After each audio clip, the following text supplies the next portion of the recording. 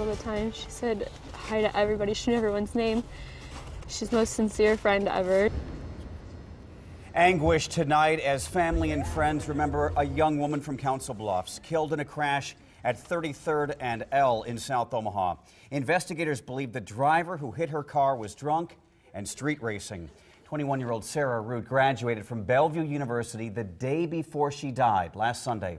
Good evening. I'm Craig Nigrelli. And I'm Jennifer Griswold. Her family says she wanted to work in law enforcement. Now they're determined to make sure their daughter gets justice. They share their message with Kevin Boughton tonight. He joins us now live from 33rd and L. Kevin?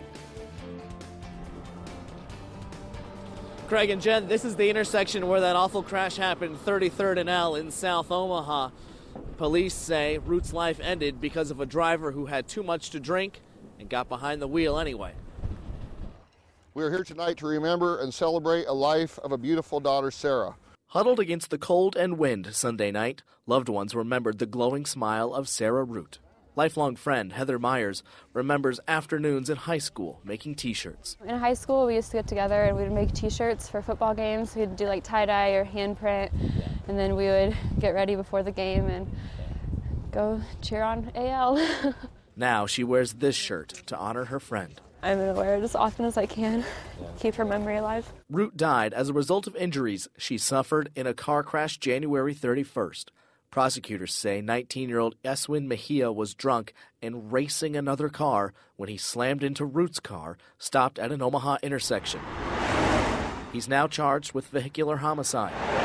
A judge sent Mejia's bond at $50,000, $5,000 to bail out of jail and find it very upsetting that the cost of a bond proved less than the cost of her funeral.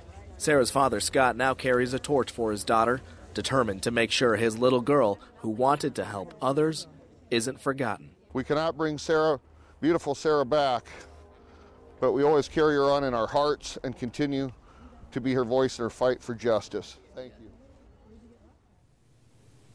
In court this week, prosecutors said Mejia's blood alcohol level was three times the legal limit, and he was driving on a suspended license. As for Root, her life, in a way, will live on. She donated her organs to six different people after uh, she suffered those injuries. Today was especially hard for her family. Her funeral was yesterday. In South Omaha tonight, Kevin Boughton, KMTV Action 3 News.